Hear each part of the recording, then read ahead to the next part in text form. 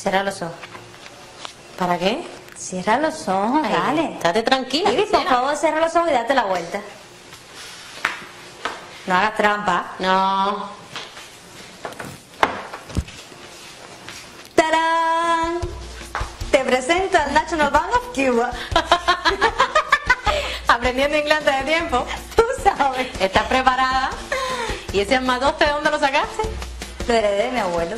Y no es ningún amatoste. Nada más el dinero. ¿Qué? El dinero. Hmm. Dale, vieja. Coge. Óyeme. ¿Tú sabes que yo creo que esta es la primera vez que esto tiene dinero de verdad? Sí. Por lo menos desde que está conmigo. Y ven acá, tu abuela tiene la combinación de esa cosa. No, hija, no. Solamente yo, por supuesto. Bueno, pues dámela. ¿Puedes creer que no? ¿Cómo? Desde ahora yo soy la que te voy a contabilizar a ti el dinero. Sí, ¿cómo no? Date gracias.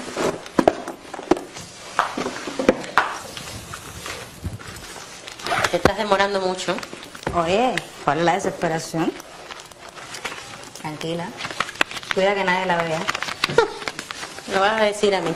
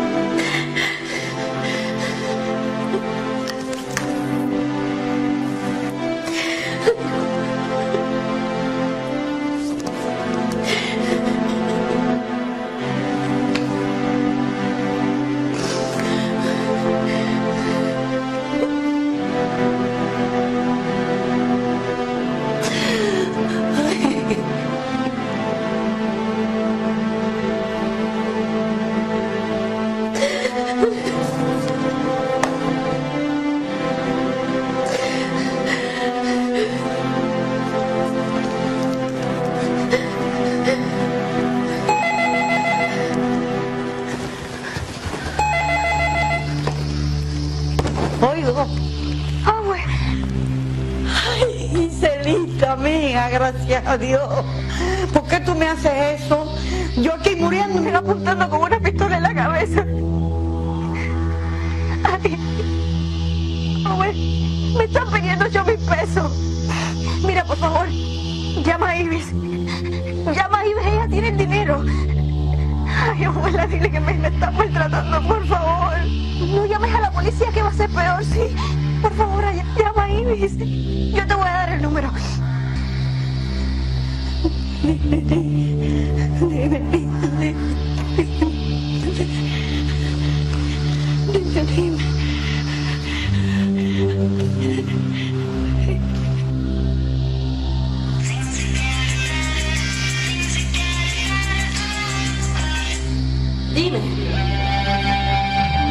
Ah, mire.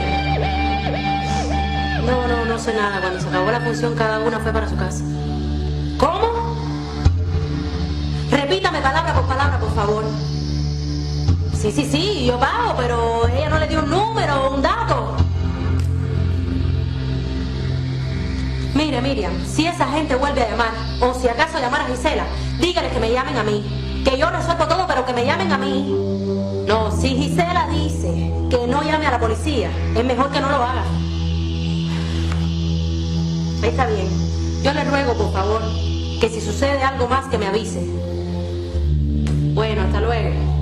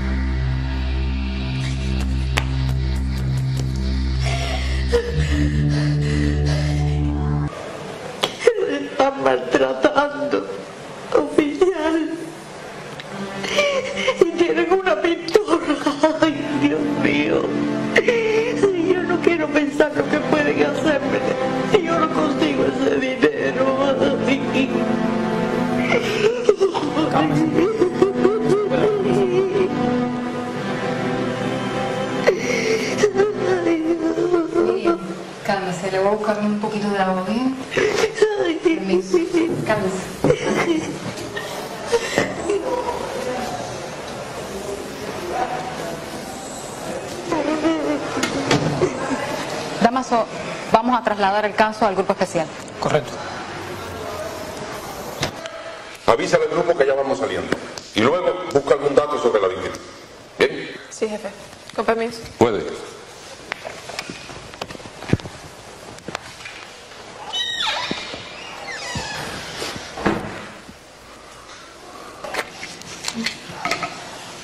Miriam, los perros podrían encontrar un rastro que nos lleve hacia su nieta. Pero para eso necesitamos cosas de ella, sábanas, toallas, peines. Sí, sí, sí, sí, vengan, vengan. Vengan por aquí, vengan. Este es el cuarto de mi nieta. No ese, no es. Aquel es el que ella usa.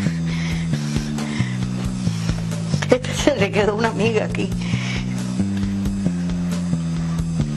Seguramente usted tiene muchas fotos de su nieta, ¿no? Sí, claro, claro. Venga. ¿Me las puede mostrar? Sí, venga, venga.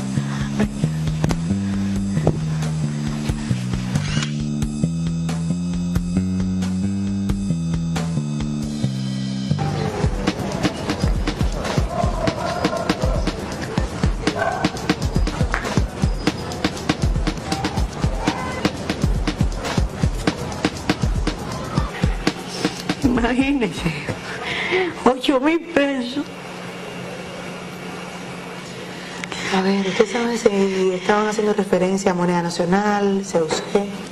Ay, estarían locos si pidieran CUC.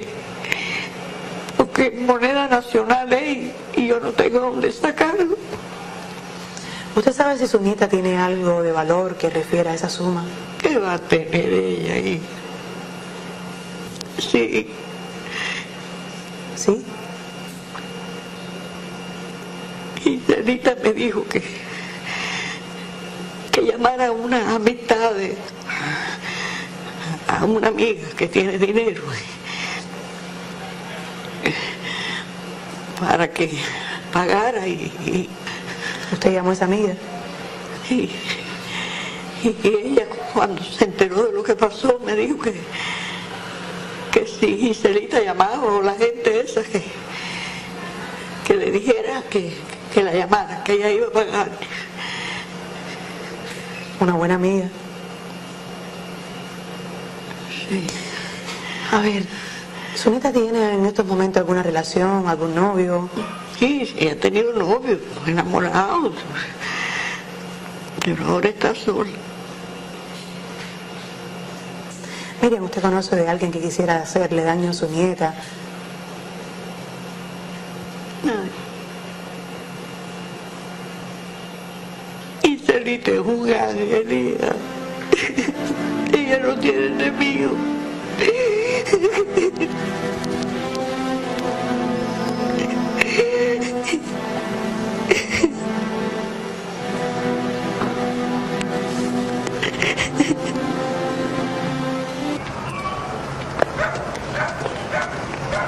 ¿Algún resultado?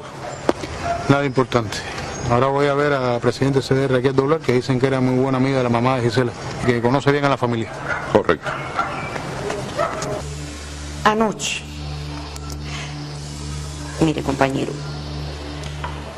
Anoche yo salí al portal porque yo soy asmática. A coger un poco de aire porque estaba un poco fatigada. Y ahí mismito había parqueado un carro.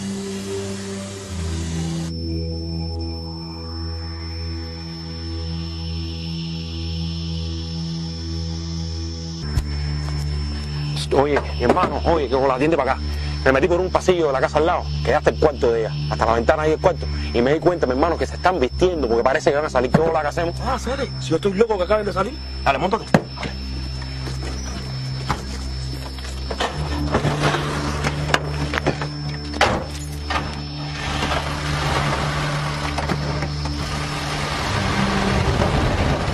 ¿Y a esas personas usted las ha visto antes? ¿O al auto? Del barrio no son. ¿Y le vio el rostro bien a alguno de ellos? Sí, como no, a los dos. Ellos no me veían a mí, pero yo a ellos sí. ¿Y usted cree que me puede hacer un retrato hablado? Bueno, yo nunca he hecho uno, pero podría intentarlo. Sobre todo del que venía a pie, que fue el que mejor pude ver. Bueno, ¿y el auto? Yo de marca, de carros, no sé mucho, pero como me resultaron sospechosos, yo apunté la chapa. Pero es un momentico que se la voy a traer.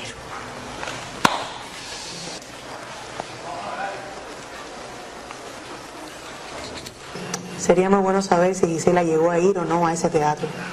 Sobre todo para precisar el horario en que sucedieron los hechos, ¿sabe? Sí, ella llegó a la función, ella vio la función y cuando terminó salió para acá. ¿Y cómo usted lo sabe? Bueno, una amiga que fue con ella me dijo que, que cuando se terminó la función, Giselita había venido para acá, para la casa. ¿Cómo se llama esa amiga? Libby. Bueno, para seguir aclarando los hechos sería muy bueno saber cómo podemos localizarla. ¿Usted sabe cómo? Yo lo que tengo es su teléfono. Pero si esto puede ayudar a encontrar a mi nieta, yo se la llamo enseguida.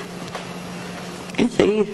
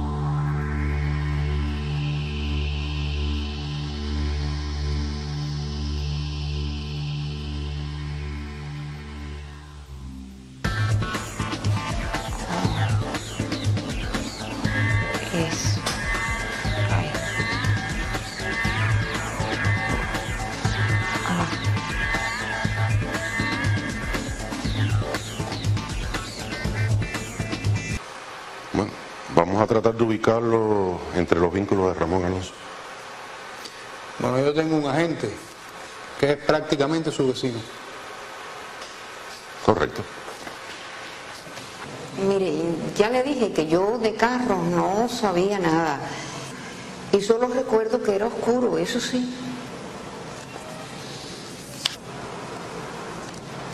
Mire a ver si reconoce alguno.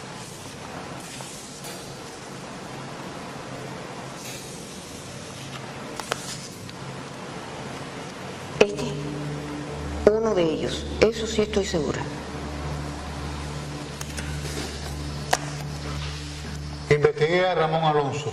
Pésima conducta, se reúne con elementos antisociales. Además, mi agente identificó al de retrato hablado. Se trata de Andy Falcón, que es vecino de este Ramón. Janet, busca que tenemos sobre Andy Falcón. Sí, jefe. Las fotos de Gisela ya se distribuyeron. La estamos buscando.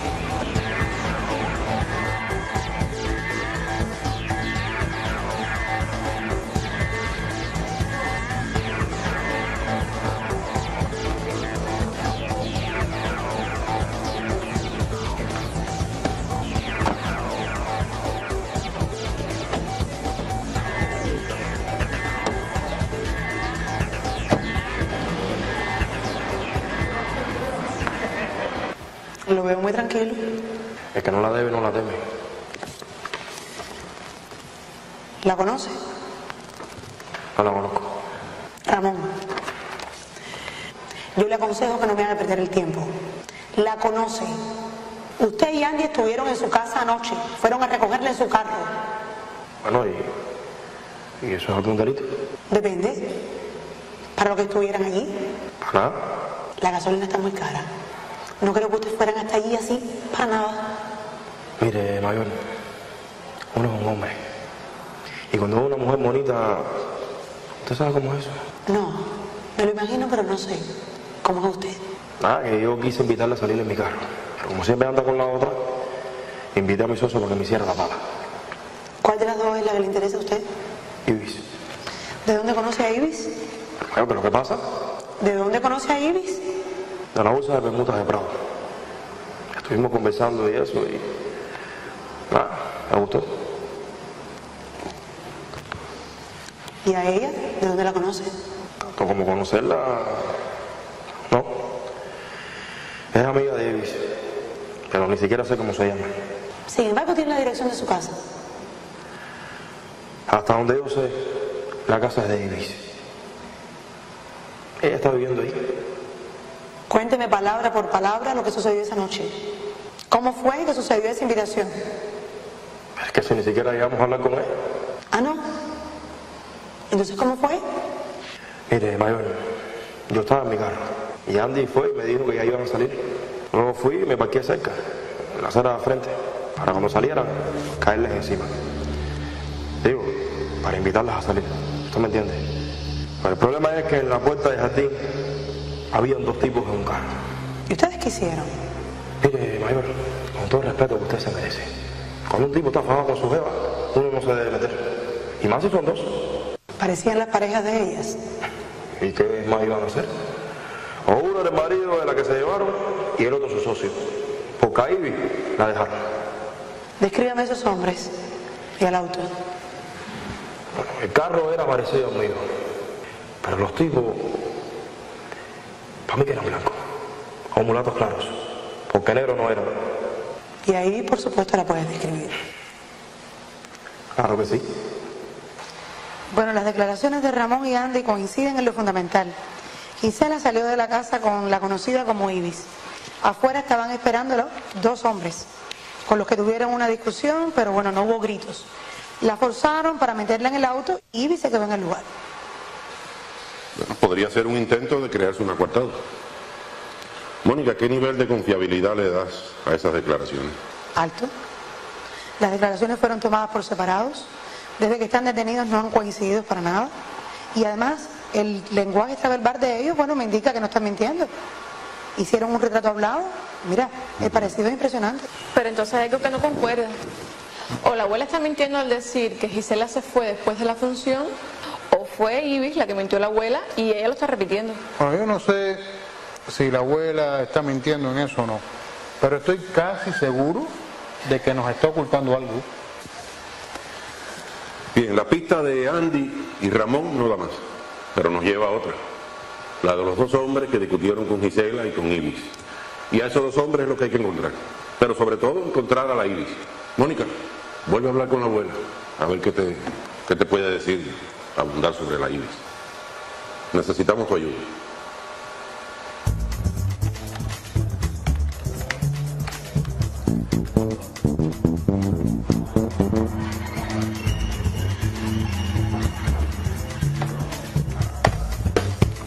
¿Por qué crees que es la Ibis que estamos buscando? ¿Cómo la localizaste? Por el número del móvil. Busqué el contrato de esa línea y está a nombre de Estela Fragoso Cao. Esta Estela tiene una hija, Ibis Martín Fragoso. Ella no tiene antecedentes, pero busqué su foto en el carnet de identidad y la comparé con los retratos hablados que hicieron Ramón y Andy. ¿Tiene su dirección? Las dos, la de la madre y la de la hija. Buenas. Buenas. ¿Estela se encuentra? No, no está, regresa dentro de una hora. ¿Quiere darle algún recado? No, no, no es necesario. gracias.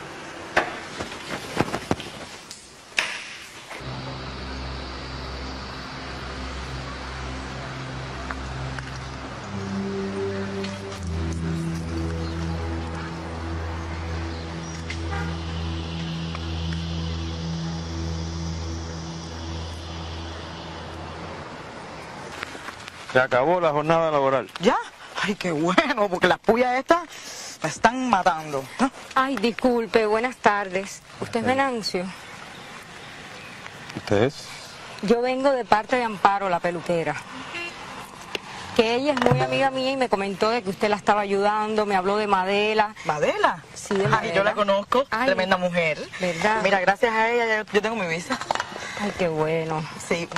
Bueno, Venancio, mucho gusto. El gusto. Encantada. Eh, Luego nos vemos. Bien. Hasta luego. Chao, mi vida. Chao. Que tengas suerte. Gracias. Usted dirá. Venancio, necesito que usted me ayude. Cada vez que me presento me rechazan. Y ya yo no puedo esperar más tiempo, necesito esto concretarlo ya. Esta se metió sola y a la cañona. ¿Cómo es eso?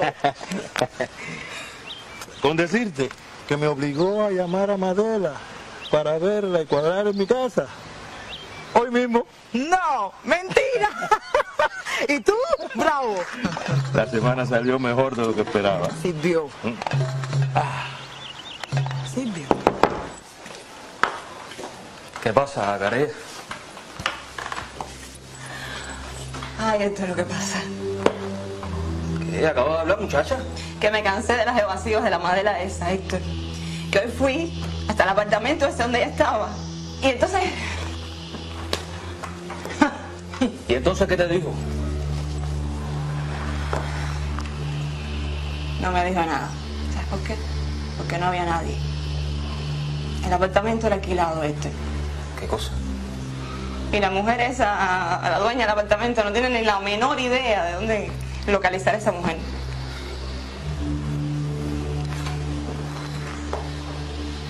¿Qué es esto, Carella? Esto no puede ser. Esto no puede ser porque yo la mato, ¿viste? Se la arranco, la saco abajo de la tierra y la mato como una perra, ¿viste? ¿Qué cosa es esto, Carella? ¿Qué es esto?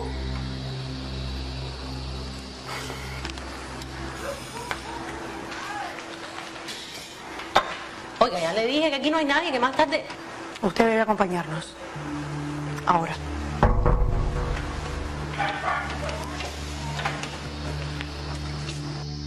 Gisela llevaba más de un año viviendo allí con Ibis. Tienen una relación muy estrecha, se dice que son pareja. Su nivel de vida ha aumentado en los últimos tiempos, se comenta que están dedicadas al negocio de visas para salida del país y que ellas mismas quieren irse. ¿Qué nos tienes, Mónica? Bueno, volví a hablar con la abuela de Gisela. Lo que quería ocultar justamente era esa amistad entre su nieta e Ibis. Dice que esta es una depravada, que le resta prestigio. Por eso desde un inicio nos ocultó que habían salido juntas. ¿Interrogaste a Ibis? Es lo que voy a hacer ahora. Yo no sé nada de eso. Ibis, es inútil que siga negándolo. Sé que habló con la abuela de Gisela. Usted se ofreció para pagar lo que exigían. También sé que se la llevaron dos hombres en un carro y que no fue después de la función, sino a la salida de su casa y en su presencia. Usted estaba allí. Hágalo por Gisela. Hay un arma de por medio. Ella está en peligro. Usted sabe lo que puede estar sintiendo ella. Y usted sin hacer absolutamente nada.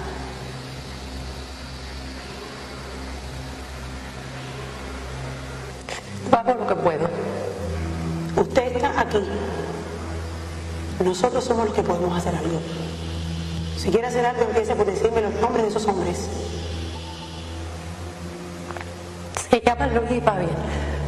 Luis y Fabián hay miles. Quiero direcciones, apellidos. Luis Díaz Márquez. Y Fabián Eras. Todo. No recuerdo el segundo apellido. Yo le voy a traer un vaso de agua. Para que usted se tranquilice y se tome unos minutos.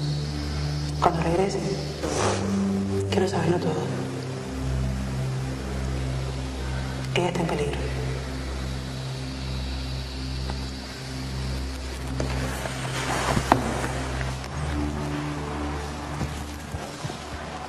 Yané, me hace falta que investigues ahí a Luis Díaz Márquez y a Fabián Eras. No, no, el segundo apellido no lo tengo aquí. Sí, mándame la foto, por favor. Gracias.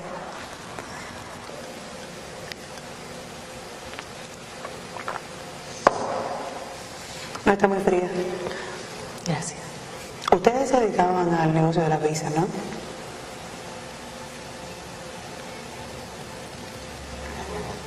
Sí, lo sabemos. Solo se lo estoy diciendo para poner las cartas sobre la mesa, ahorrar tiempo. Entonces, No es exactamente un negocio. Nosotras simplemente ayudábamos a las familias que se verían ilegalmente del país. Y bueno, si nos daban algo por eso, pues lo aceptábamos. y ayudaron a Luis y a Fabián. Intentamos, pero no pudimos. ¿Y por qué le están exigiendo ese dinero? Quizás porque no les ayudamos o porque creen que somos ricas, no sé. ¿Cuánto le están exigiendo? 8.000 CUC. Luis y Fabián no tienen antecedentes. Mónica me dijo que le llevara las fotos. Además necesito todos sus vínculos.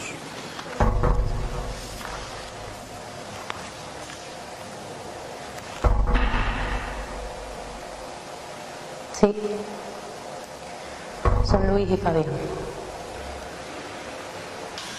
Conseguí la matrícula del auto de Luis. Bien, que me circulen este carro, con la orden expresa de no detenerlo, solamente ubicarlo y seguirlo hasta que mandemos a los compañeros, ¿correcto? También preparé un listado con las direcciones de los familiares, de Luis y de Fabián. Y yo tengo las direcciones de los vínculos. Muchos lugares y muy poco tiempo, Silvio. Vamos a activar a todos los jefes de sector y oficiales y agentes que hagan falta.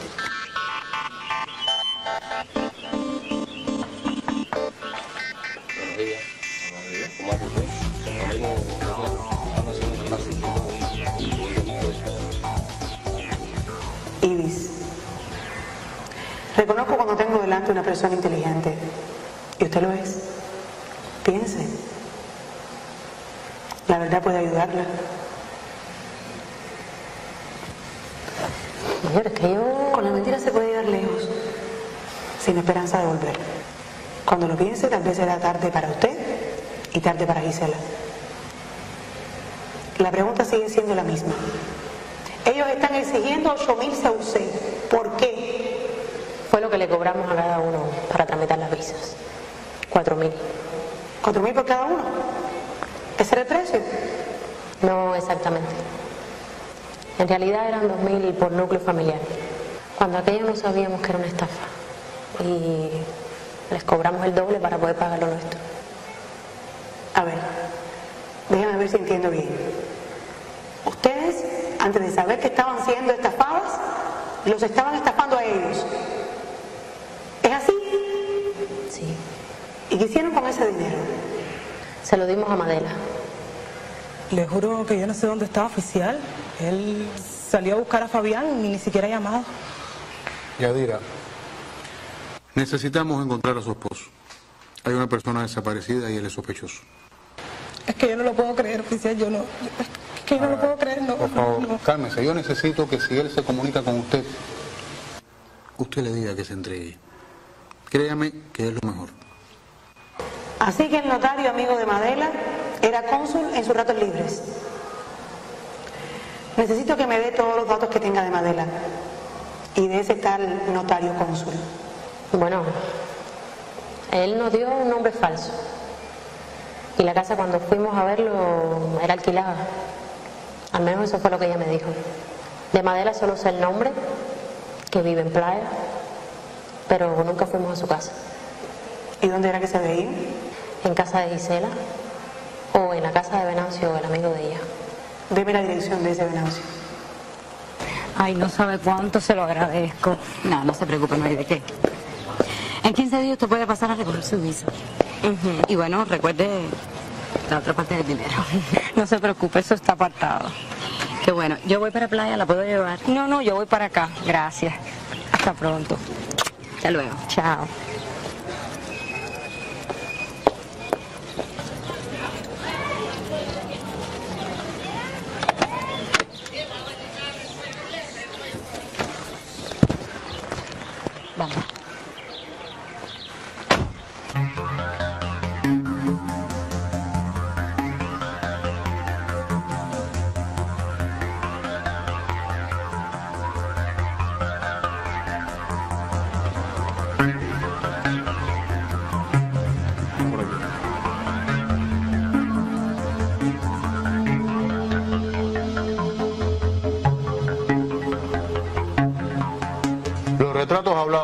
Y el notario cónsul ya están distribuidos.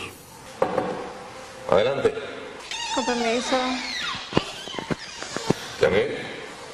Diez minutos. Disculpe, jefe. Déjeme explicarle. Buscando las direcciones anteriores de Luis y Fabián, encontré que Luis tiene un cuartico en, en el fanguito. Y un patrullero nos acaba de informar que fue visto su auto parqueado justo frente a esa dirección. Estoy saliendo. Perfecto. Y hay más. Un jefe de sector identificó al notario cónsul en San Francisco de Paula.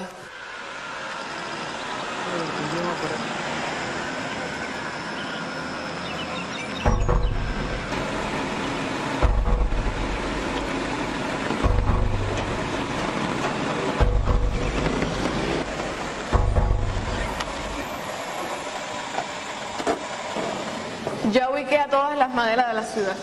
Aquí tengo sus fotos. No eran tantas. Bien, llévaselas a Mónica. Enseguida. La vecina me comentó que vio la ventana abierta y que oyó el televisor.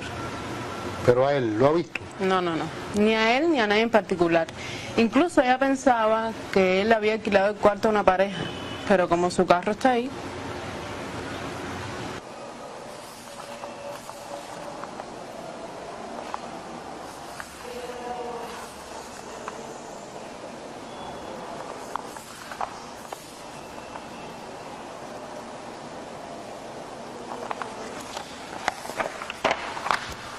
Esta. Esa es Madela. No te preocupes. Mañana se resuelve lo del dinero y ya yo voy para allá. Tranquila, chica, tranquila. Mira, mañana preparo un buen almuerzo y bastante. ¿Qué va a hacer? Porque estoy a base de pizza y tengo hambre. Ya, chao, te quiero. Chao.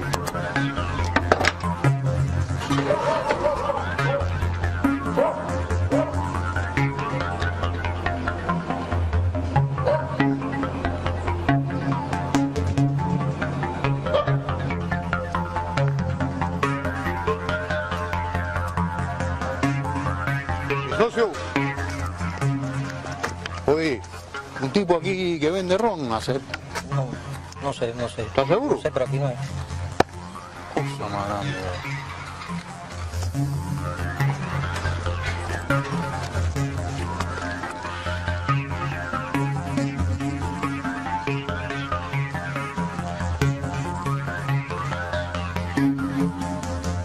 Fernando, confirmado. Luis está en el cuarto del fanguito.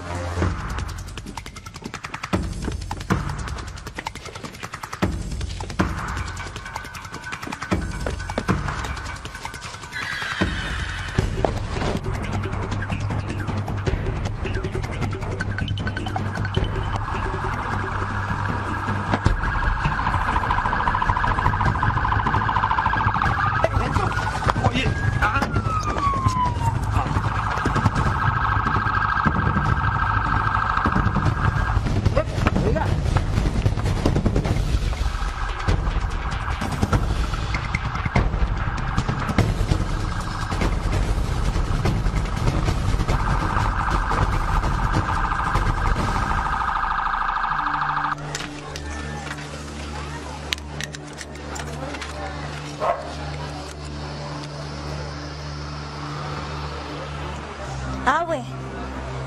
Abue, tranquila. Sí, sí, sí, estoy bien. Estoy bien, abuela, no te preocupes. Sí, sí, sí, ya voy para allá. Cuando llegue te cuento, abuela. Dale un besito. Sí. Chao, chao, chao. Buenas tardes. Permítame su documento. Apareció. ¿Y cuál es su estado? Perfecto.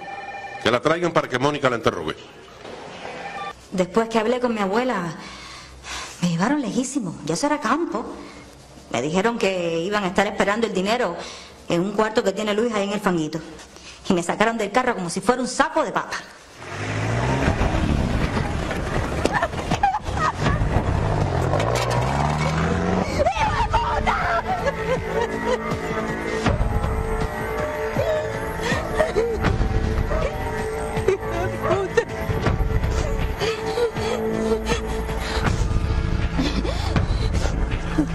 Así que ocho mil fulas, ¿eh? Ocho mil fulas te guacho. ¿Por qué me hiciste esto? Ay, mío. ¿Y ahora dónde estoy?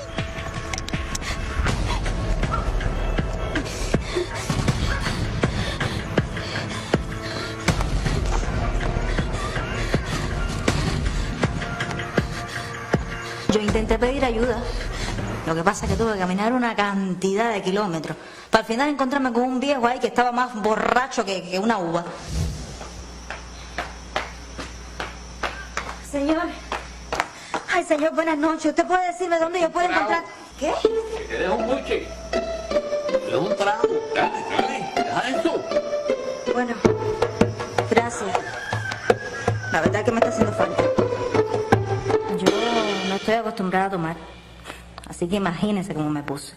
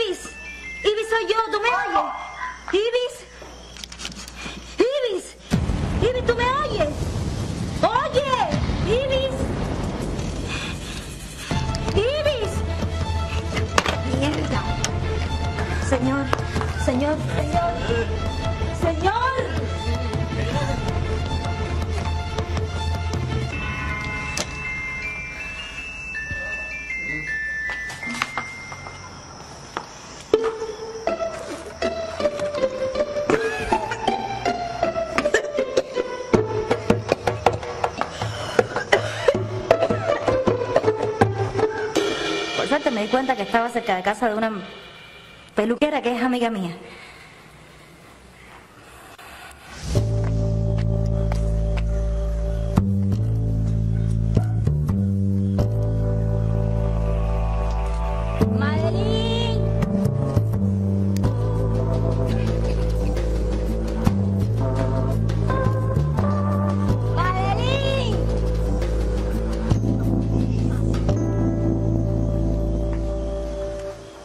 Pasé todo el día durmiendo la borrachera.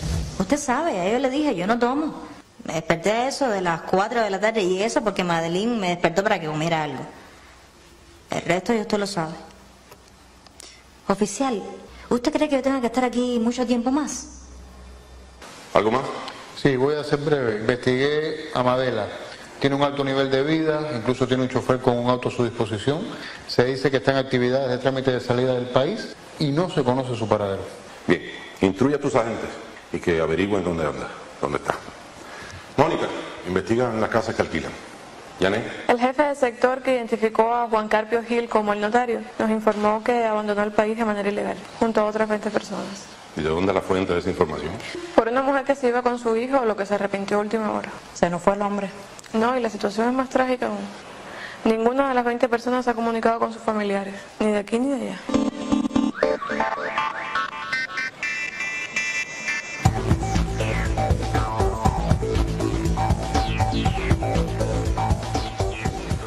Iba a dejar que me estafaran. Algo tenía que hacer, claro que sí. Usted se implicó en esa ilegalidad a sabiendas. No sé qué cosa es peor. Si cometer el error o intentar justificarlo. No, mire, yo no me justifico. Es que estaba desesperado. Yo pensé que si recuperaba mi dinero, eh, ya iba a terminar todo. Es impresionante cómo la gente hace cosas sin imaginar que existe la policía y que solo existen para pedir carne en las esquinas. No nos subestimen. Nunca pensé que fueran a denunciarnos. Pero mire, yo sí le aseguro oficial que no le hicimos ningún daño. Pregúntele a ella, pregúntele. Aquí la que hace las preguntas soy yo. Y tengo muchas para usted. Las que quiera. ¿Cómo vio con Gisela? Porque usted no sabía dónde ella vivía.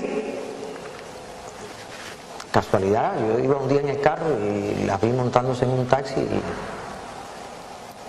y decidí seguirla. Así lo supe.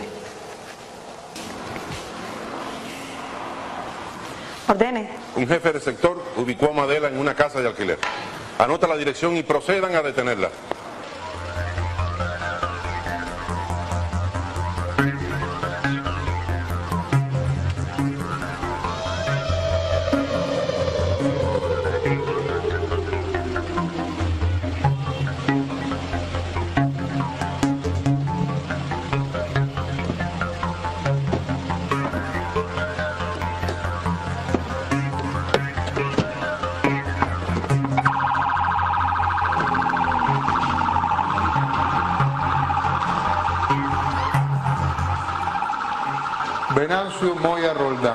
No tiene antecedentes, su conducta social es normal. Ahora, ayer la ciudadana Carella Beriel hizo una denuncia por estafa de visas realizada por un tal Venancio. La descripción coincide con este. Mónica, haz un reconocimiento por foto con Carella. Más, Fernando. Dice Carella que el Venancio este de la estafa tenía una cómplice y por su descripción coincide con Julia Moya Rodríguez, la hija de Venancio. Ya está investigada. Muéstrale esa también y me informas. Mabel, ¿y qué hay con el arma? Indira se estaba encargando de eso, pero acabo de llegar de medicina legal, no lo he visto todavía. Agilízame eso. Este es el tal Venancio. Y esta es a la que según ella, Madela le resolvió la visa.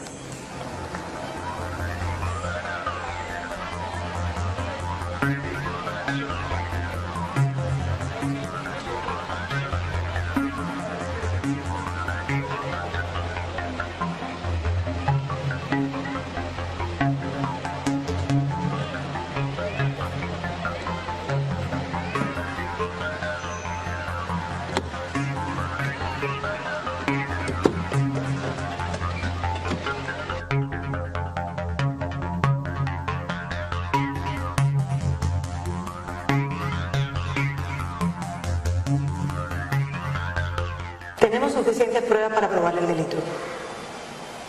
Si prefiere cooperar, este es el momento y se tendrá en cuenta. Si prefiere no hacerlo, también es este el momento. Y si nos dificulta el trabajo, también se tendrá en cuenta.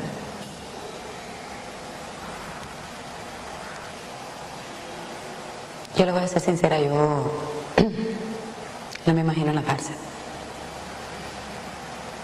Y yo lo siento mucho, pero si tengo que hacer algo por pasar un día menos allí o una hora menos allí, lo voy a hacer. Vamos a ver entonces. Ahora me vas a decir exactamente cómo fue que lo planearon todo. ¿Cómo funcionaba? Adelante. El arma es de juguete. ¿Cómo? Eso mismo le dije yo a Indira. Parece verdadera, pero es una réplica. Es una larga lista de estafados. Ibis y Gisela por una parte, Julia y Venancio por otro. Ellos se encargaban de cobrarle a los clientes y usted les daba una comisión. ¿Era así? Sí. Y a otros les cobraba usted misma. Esto es un negocio que le reportaba mucho. Así que va a tener que responder por mucho. Sí, pero el negocio no era mío. Yo también recibí una comisión. Explíquese. Yo le, le daba todo el dinero al dueño del negocio. Y él me daba mil CUC por cada grupo de personas que yo le presentaba. ¿Quién es su jefe? Así que este era el cerebro de la operación. Toda la red contactaba con Madela, pero solo ella se comunicaba con él. Janet, ¿qué encontraste? No le contan antecedentes. Silvia. Bueno, tiene una conducta social normal en su zona de residencia. Él trabaja como custodio, pero tiene un nivel de vida altísimo que incluye la compra de un carro. Pero ese es el custodio mejor pagado de este país, ¿no? Eso pienso yo. Su vínculo con Madela está confirmado. La dueña de la casa donde estaba alquilada dice que se veían casi todos los días. Y esto lo corroboran otros testigos. Bien, vamos a ubicar a todos los estafados que relacionó Madela, independientemente de que hayan hecho la denuncia o no. Pero primero, Mónica, vamos a proceder contra este ciudadano.